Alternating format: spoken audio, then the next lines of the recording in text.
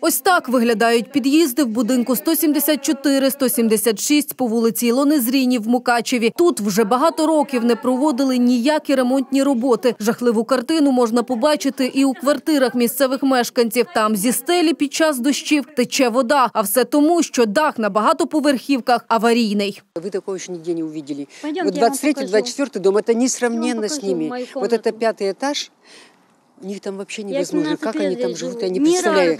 И у меня пятый этаж. У нас у всех течет. Таке в нас твориться вже більше 20 років. Дідо наш ходив, писав постійно і на прийоми, і писав письма. Йому казали, запланіровано, буде зроблено, запланіровано, буде зроблено. Ну, видите, як нам зробили. Не дочекався, помер. Зараз ви в руках тримаєте документи. Все документи мала частина. Із того, що я різко знайшла, це мала частина. Що йому обіцянки буде проведено у слідущому. Жінка розповідає, в тих місцях, де протікає стеля, ставлять відра та іншу ємкість. В квартирах сирість. Жити в таких умовах неможливо. Незважаючи на те, що в сім'ї двоє інвалідів за комунальні послуги сплачують вчасно. В місяць за квартплату родина платить більше 160 гривень. Тече стеля і в сусідній квартирі. Тут нещодавно зробили ремонт. В такому ж стані і під'їзди. Вода під час дощів лє аж до другого поверху. Мокрі від дощу і електричні щитки. А це може призвести до замикання та пожежі. Обшарпані стіни, з яких сиплеться штукатурка, занедбані сходи, стара електромережа. Все потребує заміни. Не белится, не убирается вообще. Ще одна проблема – внутрішньоквартальний проїзд біля будинку. Люди кажуть, не розуміють, чому всюди ремонтують, а тут ні. Три года тому назад две машины гравия, они даже его не раскидали, они его тут высыпали, а мы уже потом дети кто куда хотели. Ни у кого ни копейки дол- долгов нету. Так что?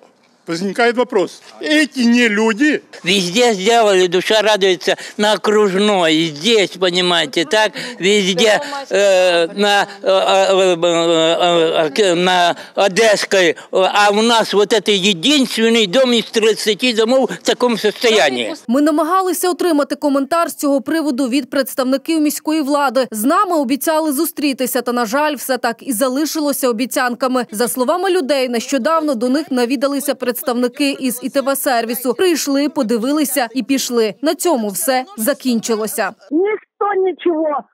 Один раз приехали, были они, сказали, что вот мы вам сделаем подъезды, но вы найдите рабочих, а мы заплатим. Э, Но мы вам потом перезвоним. И все, и на этом все закончилось. А ми ж надалі будемо стежити за тим, чи зміниться ситуація на краще, чи відремонтують під'їзди та аварійний дах, чи заасфальтують внутрішньоквартальний проїзд біля багатоповерхівок 174-176 на Ілони Зріні, чи відреагує Мукачівська міська влада на скарги людей. Про це вже у наступних випусках новин.